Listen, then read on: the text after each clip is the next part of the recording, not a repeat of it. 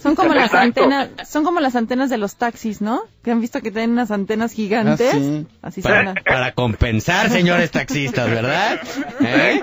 Entre más grande la antena, Sí, yo digo, Exacto, ¿para qué ¿no? tienes antenota? No, no se pudieron comprar un Corvette, Ay, una tenota para compensar el, el tamaño, el brevísimo tamaño de los penes de todos los taxistas de la Ciudad de, de México, plano te vas a echar encima a todos.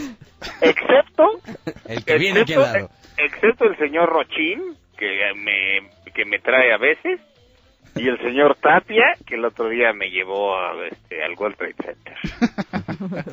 el señor Rochín de Taximex y el señor Tapia, que está aquí junto al Camino Real.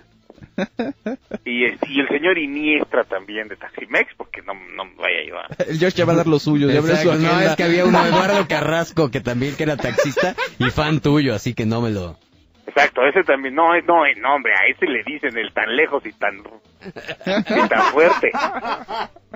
Tan cerca y tan fuerte le dicen. Mi Sergio dice Felipe que sí vamos a una rola. Tan cerca y tan fuerte y eso que estoy a tres cuadras. Bueno, yo sí estoy a dos cuadras, o sea que ya mero llego. Si ahorita ven entrar algo, algo calvo como con un solo ojito, déjenlo pasar. Brr. Es una parte de mí. Regresamos. Perdón, mi taxista que, que, que sí no la tiene chiquita. No, no es que yo Oh, sepa. así de- Ah, Es, no, Rocher, Rocher. dotado.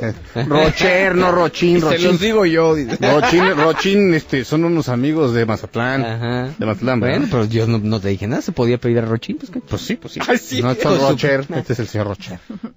No, Este, no, es que todos los demás taxistas, cualquier taxista que tenga esas antenotas, Ay, sí, qué horror. es porque la tiene, mira. Con eso ligan. Es que se la busca con lupa. Sí, sí, Le pide un pasador a su novia y se lo detiene para hacer pipí. ¿Qué, Felipe? ¿Estoy diciendo cosas horribles? Un poquito, dice Felipe. Mi George. Ándale, ahora sí.